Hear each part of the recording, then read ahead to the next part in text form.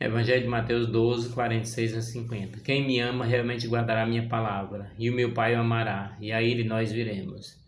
Naquele tempo, enquanto Jesus estava falando às multidões, sua mãe e seus irmãos ficaram lá de fora procurando falar com ele. Alguém disse a Jesus: Olha, tua mãe e teus irmãos estão aí fora e querem falar contigo. Jesus perguntou àquele que tinha falado: Quem é minha mãe? Quem são meus irmãos? E estendendo a mão para os discípulos, Jesus disse: Eis minha mãe e meus irmãos, pois todo aquele que faz a vontade do meu Pai que está no céu, este é meu irmão, minha irmã e minha mãe. Palavra da salvação. Glória a vós, Senhor, que as palavras do Evangelho apaguem nossos pecados.